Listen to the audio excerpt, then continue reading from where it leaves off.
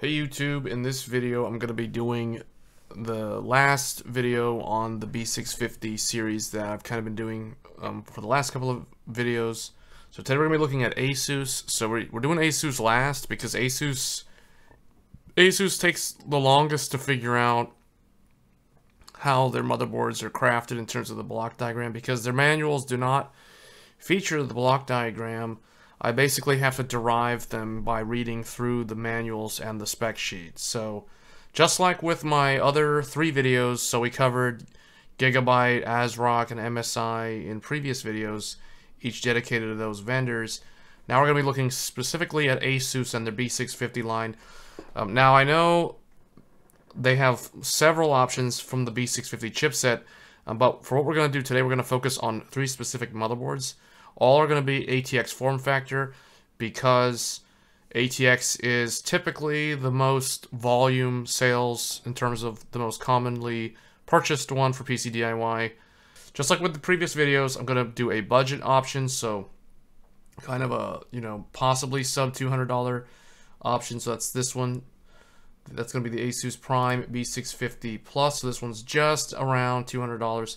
Um, but at time of filming, Newegg does have a $20 off promo code that would drop this down to 179 So that's the Prime. We're going to look at that one first. And then we're also going to look at the TUF, which is the middle of the road.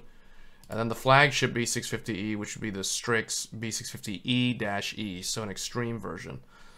So to start off, let's go ahead and look at the Prime B650 Plus. So their product page uh, does kind of give you a general overview of what it offers in terms of the product. Uh, but what I like to do is just go straight into the, in depth into the block diagram. So I've provided that here for you guys, and I know a lot of people um, do like these breakdowns of how the motherboard is laid out because it does make it much easier to figure out what the motherboard can and cannot do. So in the case of the Prime B650 Plus, uh, it is standard B650 in the sense that it does offer a single M.2 Gen 5 drive. You can see that there. So it's going to be the primary M.2 slot, so M.2 underscore 1. Uh, and then the second one is going to be also off of the CPU, um, but it's going to be a 4.0 bus. So for B650, the CPU has 24 lanes. Four of those lanes are going to be Gen 5. The remaining 20 lanes are going to be Gen 4. That is the standard for B650. If this was a B650E motherboard, all 24 of these CPU lanes would be Gen 5. So that's the key differentiation between those two. So for the graphics card slot, you know, 16 lanes, doesn't share anything. So that's really nice. So it's always going to be operating at X16.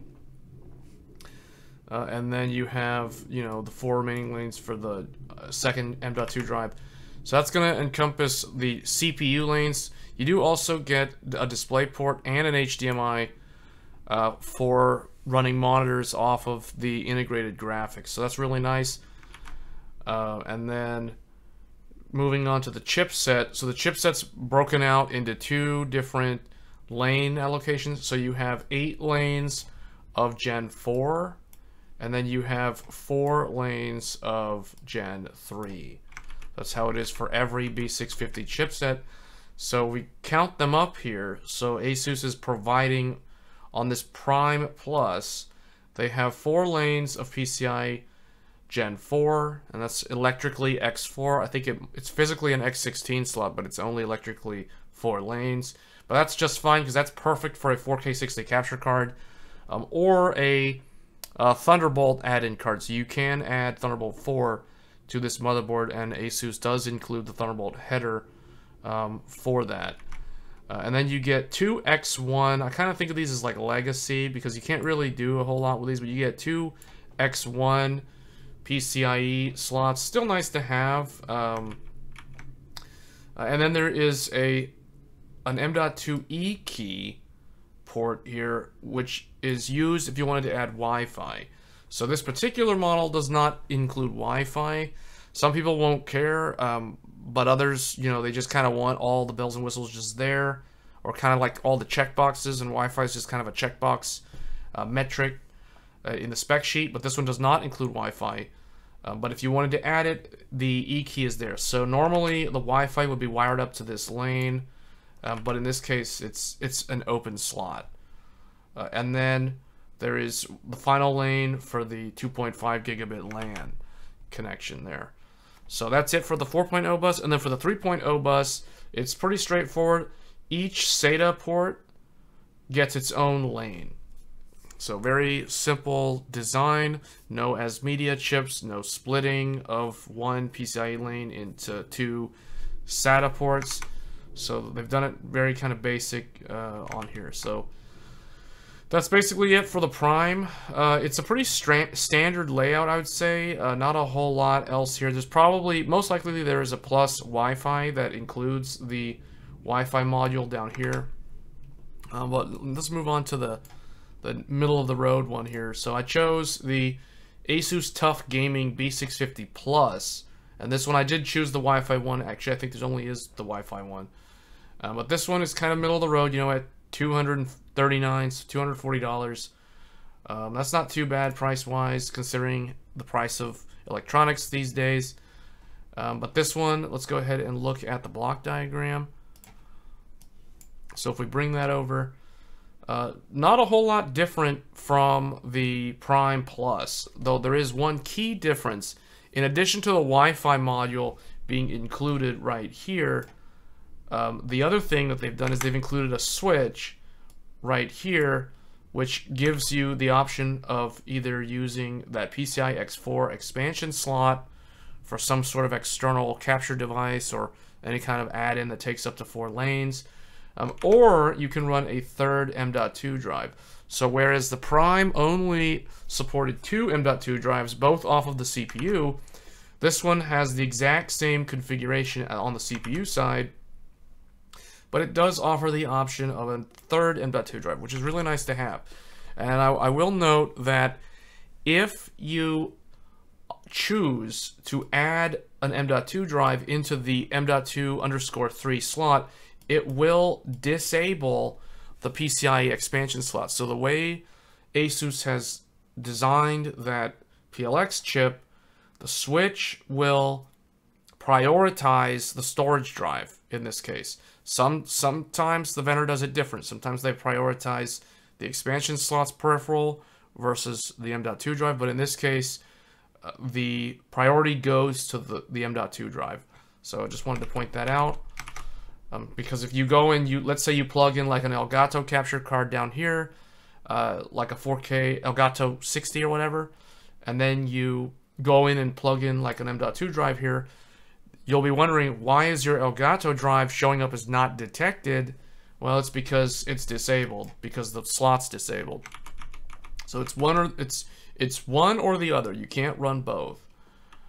Um, so that's just keep that in mind. And you, you still do get those two PCIe X1 slots, so you still can run a 1080p capture card off of either of those. Um, but you just can't run like a 4K 60 capture card. Um, and you can't really run like 10 gigabit NICs off of this. So just keep that in mind. And then, of course, Wi-Fi and the, LAN are the same. And then the SATA implementation is exactly the same as the Prime. So that's going to be it for the TUF Gaming Plus. Not a whole lot different here. Um, I will note that um, where the motherboard features a 20 gigabit USB-C on the back, that is going to be off of the chipset, regardless of which motherboard we're talking about. The way the way 20 gigabit ports are done, it, they're off of the chipset. They're not off the CPU. They're always going to be off of the chipset. And what they do is they take two two USB 3.2 Gen uh, Gen 2 and they team those together. So you get a Gen 2 by 2, and that's how you get a 20 gigabit port. So moving on to the final motherboard, then that's gonna we're gonna be looking at the Strix, the ROG Strix B650E-E gaming Wi-Fi. This one has an enormous name, um, but it's also the most expensive one on the B650 lineup. And it is a B650E motherboard. Um, and because it is priced at $350, it does include the debug postcode. Um, you can see, well, it's, it, you can see it in various pictures. It's on the upper right corner of the motherboard. You can see this one does have the 20 gigabit USB C on the back, um, right above that Wi-Fi 6E antenna. Um, but that's that's off the chipsets. So if we take a look at the block diagram for the Strix B650E, so this one is significantly different from the other two, and it's also a lot more expensive uh, because it does feature the entire PCI 5 24 lane bus. So with this one, you get the 16 lanes, which in the case of the Strix E, they go to a splitter or a switch that has the you know the classic uh, 16 lane graphics card slot shared with another X16 physical graphics card slot, but that but the second one is only wired for eight lanes. So that's really common for Crossfire and SLI systems in the past. However, SLI is completely dead, and Crossfire is rarely ever used nowadays. Um, but it is nice to have this X8 slot if you wanted to put in a second GPU and you wanted to like render uh, you, you know like DaVinci Studio or Adobe Premiere and and use the professional version so the paid version of those applications does actually scale with multiple GPUs so for for a kind of like production semi-prosumer workstation on the cheap this motherboard is a good option for that reason because you can run multiple graphics cards off there. You could also add additional storage drives with like a an NVMe add-in card um, to add like you know two drives to this slot, for example. So lots of connectivity options there. So it's it's nice to have this. Um, and then on top of that, you also get another M.2 drive. So this B650E motherboard features four M.2 drives. So, you know, you got your primary one, your secondary one. Both of them have their own set of dedicated 5.0 lanes directly to the CPU. You get a third one that can that also goes to the CPU, but it is sharing uh, lanes with the graphics cards or the graphics card and whatever would go in that second slot. So I've kind of like given you guys the different scenarios for how that's done. So it's either graphics card only or you know graphics card plus another graphics card or some additional NVMe add-in or just some peripheral is connected into that X8 slot in the middle. And then you have an NVMe drive in the M.2 underscore 3 um, or you know dual graphics cards no NVMe or you know both of the PCIe's are in use but you're not using NVMe. Or graphics card plus NVMe drive with nothing in the X8 slot. As soon as you populate that NVMe drive uh, in this this slot in particular, that is going to force the graphics card to run at X8. That is a limitation of using the switch. So I, I want to just point that out. Because if somebody goes and plugs in an NVMe drive right here, this is this is empty, but they'll be wondering why is there GPU at X8. That's because they're now in this situation. So wanted to point that out because these are the technical details that uh, aren't really talked about that often. You know, and then people will troubleshoot why they're running into these problems and they don't really know why. Um, well, that's the reason why. So it's a platform uh, behavior. It's a limitation of the platform. So moving on to the chipset. So what this one is also different. So the nice thing is they still provide the X4 expansion slot. I like to see the X4 expansion slot. Um, even on the B650 motherboards, it's nice to have because it does allow you to add Thunderbolt 4 via an add-in card to this motherboard if you wanted. So it's really nice to see all these AM5 based motherboards have native support from these motherboard vendors for Thunderbolt. So it's really nice to see.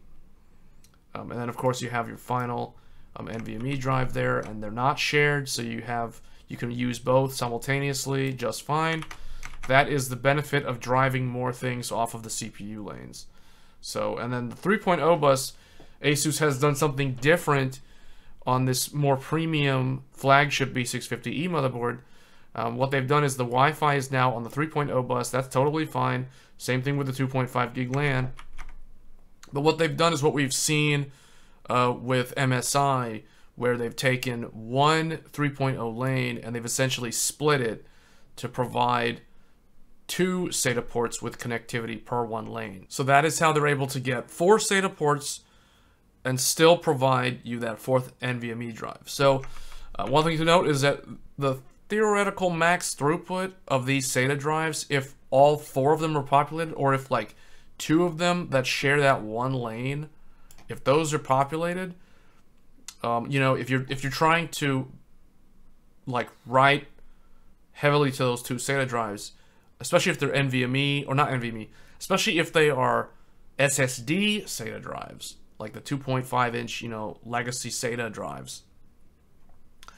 The the total throughput's probably gonna be a little bit bottlenecked, but I don't know if you'll ever even notice it. But it is one thing that is a key difference between this motherboard and the other two that we looked at. So I hope you guys enjoyed this sort of mini series and this deep dive look at the B650 and B650E motherboards from the different vendors. Just kind of concludes this mini series. And if you guys have any questions on a particular motherboard, if we're talking AM5, B650, B650E, or even X670 and X670E, please leave a comment below and I will try to answer it uh, when I have time. And with that said, I'm going to go ahead and get on out of here. And I hope you guys enjoyed this content. And I will catch you guys in the next one. Thanks.